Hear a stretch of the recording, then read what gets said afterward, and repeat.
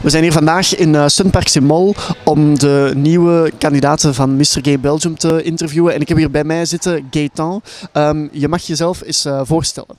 Dus ik ben uh, de Vos Gaëtan, ik ben 24 jaar. Ik ben afkomstig van Gent, maar ik woon momenteel in Ursel-Knestelaren, dat is zo nog juist Oost-Vlaanderen. ik, ik, heb mijn eigen kinderdagverblijf, dat ik zelf run samen met nog andere collega's samen.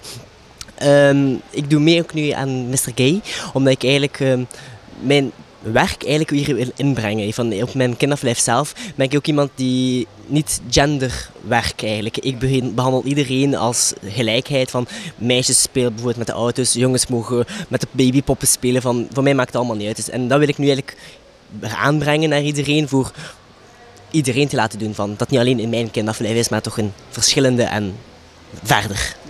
En um, zijn er al bepaalde acties dat je wilt ondernemen tijdens de campagneperiode of um, nog niet? Ik ben er al mee bezig voor echt te brainstormen van wat er allemaal mogelijkheden. Van een idee was voor mij van misschien een soort een aanbod van speelgoed in elkaar te steken. Van kijk, van dit is speelgoed van dat iedereen kan gebruiken. Van, van dat is speelgoed van dat niet wordt gecategoriseerd van alleen voor jongens of voor meisjes. Dat was een, een idee dat ik wel in mijn hoofd al heb.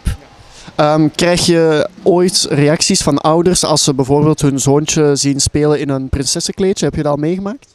Ik heb het meegemaakt van dat er een ouder binnenkwam. Een jongen was juist bezig met een prinsessenkleed. Die erop reageerde van, van uh, oei, van wat heb jij nu aan? Dat is voor meisjes. Uh, ik, vond het wel een beetje moeilijk om er toch op te reageren. Ik heb het niet echt gedaan, omdat ik dan ook dacht van... Het is moeilijk voor toch te reageren, want ja, het is mijn eigen kinderverblijf. Maar in principe denk ik wel van... Eigenlijk van, hij amuseert hem, dus waarom waarom, uit, waarom zeggen van dat niet mag? Ja. Oké, okay, mooi. Um, een totaal andere vraag. Um, als je zou moeten kiezen, rond of vierkant en waarom?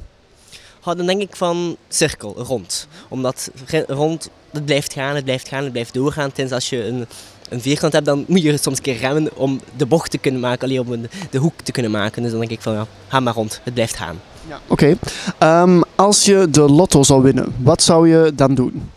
Goh, ik denk dat gewoon misschien mijn tweede kinderverblijf zou openen. En dan hetzelfde toepassen wat ik nu al doe.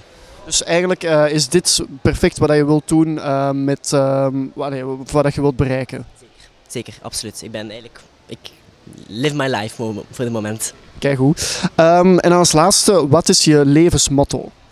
mijn levensmotto is van, wees jezelf, doe wat je wilt. Want allee, en droom, maak je, zorg dat je dromen uitkomen. Van, bij het dromen blijft het niet. Het is ook van echt, als je het begint te doen, dat het echt gaat uitkomen. Dus ik denk van, laat je dromen niet alleen maar dromen zijn. Oké, dankjewel.